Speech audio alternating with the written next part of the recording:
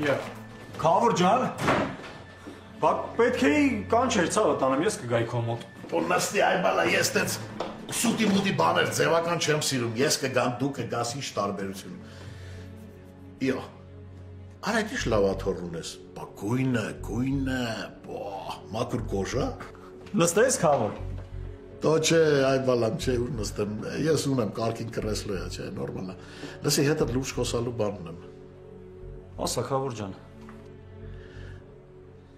Արի կլինի դու միառ ժամանակ երկրից բացակայի։ Ինչի քավոր։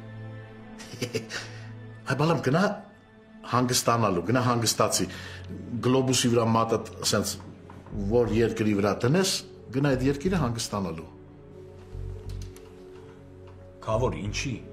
Ինչ-ինչի, այ բալամ, ասացի ինչի, գնա հանգստանալու, որովհետև ես այդպես եմ ուզում։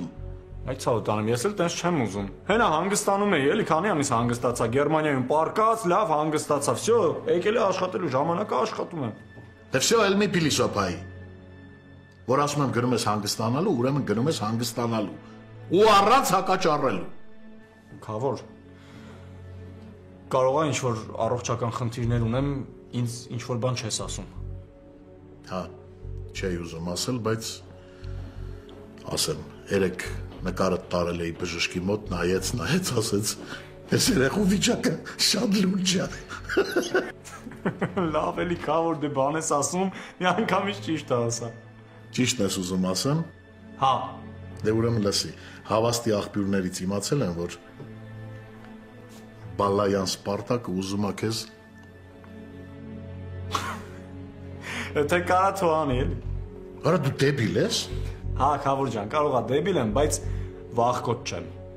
Հեն այն սենյակում նստած է, էլի, երբ ուզում է թողա սպանի։ Մնացել էր դրանից հիմա փախնեի։ Ախ, ես քո հերն եմ անիծել։